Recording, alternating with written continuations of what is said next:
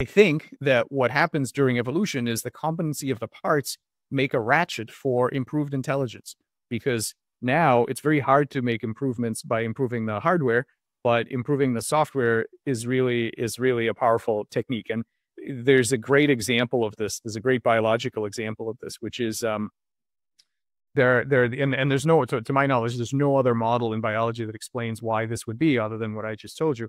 There are these flatworms called planaria and these flatworms they uh, they regenerate and the way that you know if the, what they the way they can reproduce is they tear themselves in half and then each half regenerates and now you've got two worms okay? So the interesting thing about that is that unlike us when we have a mutation in our body our children don't inherit that mutation right? There's a separation of the germline we you know, we clean it up during sexual reproduction.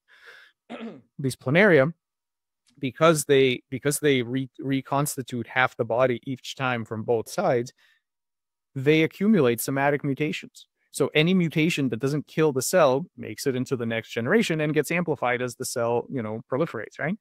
So for 400 million years, these animals have accumulated these really uh, all, all, kinds of mutations. Their genome is an incredible mess.